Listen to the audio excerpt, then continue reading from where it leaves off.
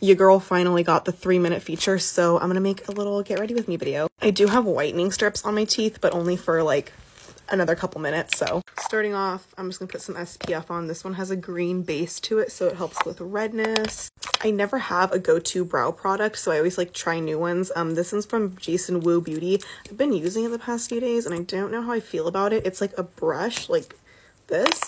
I literally just dropped it right on my silk pillowcase. Moving on from that, it's like you just kind of paint it on. I know it's gonna look really kind of weird at first because I haven't like combed through my brushes, uh, combed through my brows. I don't know. I, I just kind of spoolie it in and like comb my brows. I don't really know how I feel about it. It's really easy to use, but I think today's the day I realized I don't like this product. Gonna attempt to fix this with concealer, BRB. I have bangs, so they'll cover they'll cover my brows. I self tanned. I don't know if you can even tell, but because of that, I've kind of just been using like a light and a dark concealer for my foundation. And I use the e.l.f. Hydrating Camo Concealer. Um, does anyone else's do this? It's like separating. It's all red. I feel like this is all over the place. Three minutes, I think, gives me too much time to talk. Um, I'm taking the shade Fair Beige and just putting it under my eyes. And then the shade Medium Neutral, which is like the darker one. And I just kind of put, you know, little dots around my face. And I'm blending with my Juno & Co. Cloud Sponge. This is my favorite, my favorite sponge.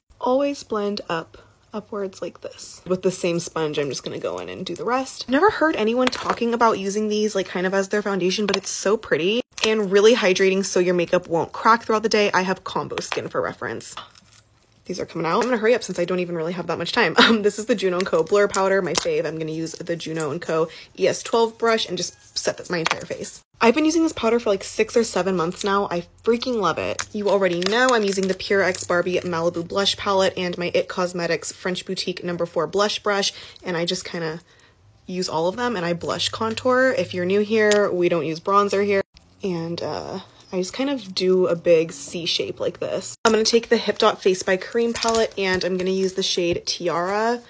And I'm just gonna, I'm running out of time. How am I running out of time? I'm gonna put that on my lid and then just kind of like fan it out. I like putting a light shimmery shade just on my lid. It gives me like early 2000s vibe. Okay, I'm gonna curl my lashes and then I'm gonna put on the IT Cosmetics Superhero Mascara for everyone asking. That's the mascara that I always use.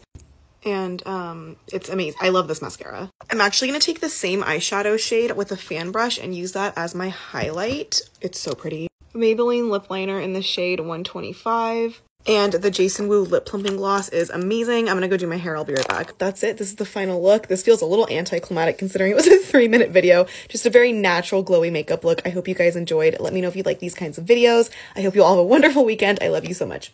Bye.